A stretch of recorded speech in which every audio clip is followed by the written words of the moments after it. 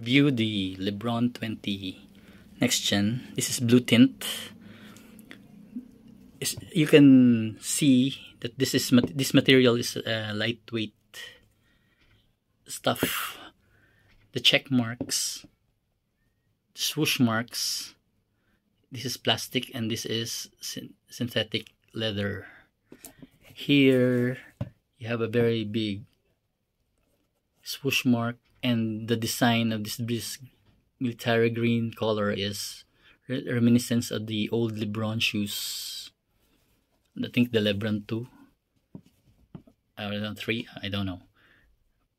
And also your soles, you have this Akron, Akron map inspired soles. So grip wise, it's this is great because of the of the grooves in it and there's no issue here of uh, stones getting stuck. So the cons of these shoes is that number one what, what will annoy you is this design. This really looks ugly. And uh, I think they use this to stitch this and connect to the soles because this is a very thin material. This will cause if this material will use will only be used alone it might rip. I think this is a strengthening forefoot design for this material. And actually it annoys me and it doesn't look nice to the shoe.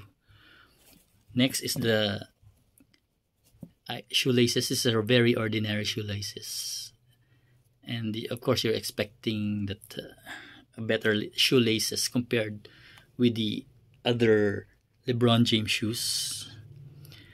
And also the material looks plastic. It's a reminiscence of the Adidas uh, Derrick Rose shoes. The old shoes of Derrick Rose uh, they have the same design. And uh, it's it's thin it's thin so but this is i think durable but uh, i don't know in after two to three years if this might rip rip off.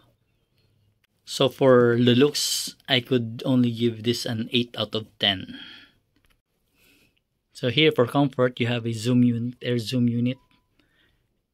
And this is as a word of caution you have to break it in for three days before it molds to your foot. You will feel comfortable at first using it, causing some pain on the forefoot, but after three days it will mold to your to your feet. Yeah. So this is what I observed with the shoes compared to the previous Lebrons, which has the best, which had the best cushioning and as for the lockdown uh, they they stayed with their strength have having this this uh, material locking this foam here locking your ankles. It prevents it from slipping from your the shoe slipping from your foot. Also uh, the shoes if you will uh, walk this with a in a long distance might you might feel discomfort because compared to the previous LeBron 18 uh, LeBron shoes they have great cushioning. Here with the next gen I don't they have I think they downgraded it.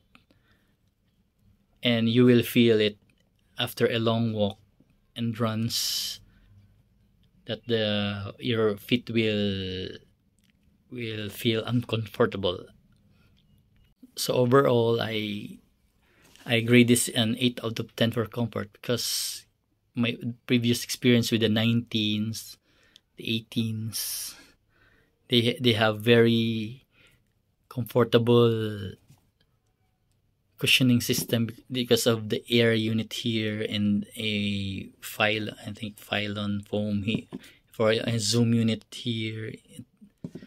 So that's the reality of the shoe this might feel make you feel uncomfortable for long runs and walks.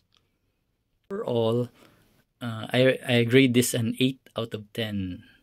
why 8 out of 10? It's because if you are a fanatic of LeBron shoes, you will feel the difference of the previous models, especially on the cushioning side. This one, I, if you have a Kobe 6, this is similar to Kobe 6 cushioning that they used here. So if that's what how you will feel if you have if you will be buying this one. And uh, looks wise it really it's it's not really that great compared to the previous lebron models. That's why uh, of course we're expecting a whole lot from lebron shoes especially the price point although it's cheaper compared to the 20s but uh, it it will it disappointed me because I was I was expecting a whole lot uh, cushioning from these shoes.